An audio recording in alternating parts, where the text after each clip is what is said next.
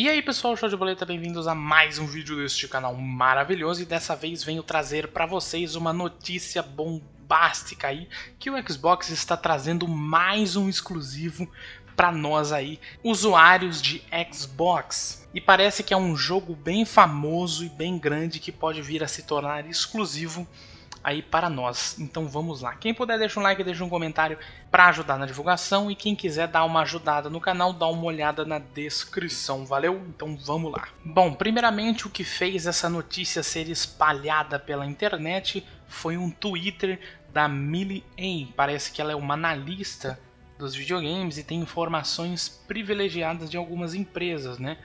Foi o que deu a entender, certo? E o que ela tweetou foi o seguinte: Algumas pessoas me mencionaram que o Xbox garantiu algum tipo de exclusividade em um título de terceiros grande, não apenas para lançar no Game Pass, e os termos encantados e extasiados estão sendo usados ao descrever todas as partes envolvida. Então agora a gente tem algumas opções do que isso pode ser. Alguns rumores dizem que pode ser que Tomb Raider se torne um exclusivo de Xbox, que ia ser maravilhoso, porque ele já foi exclusivo de Xbox um tempo.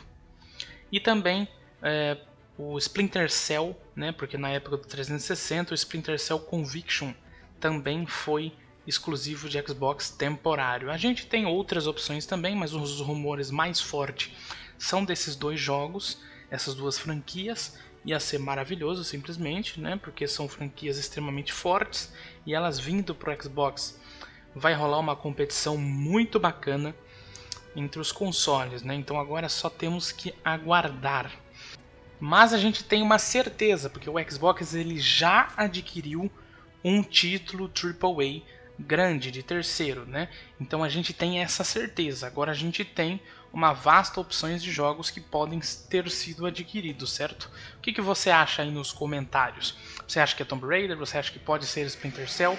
Você tem algum outro em mente de alguma outra história que o Xbox teve? Eu sei que o Mass Effect também foi exclusivo temporário em, por um tempo no Xbox, mas não sei ao certo se pode ser também. Mas enfim, eu espero que vocês tenham gostado desse vídeo. Comenta aí embaixo o que você achou, digita a sua opinião.